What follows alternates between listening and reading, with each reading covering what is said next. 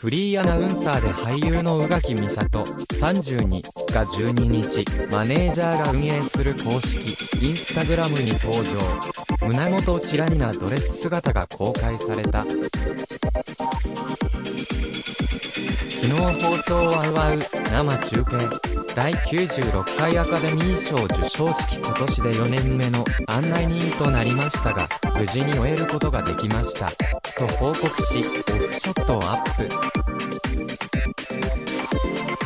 今回も華やかなドレスとメイクアップでとっても素敵に仕上げていただいて嬉しい限りです。と胸元が覗く真っ赤なドレス姿を披露した。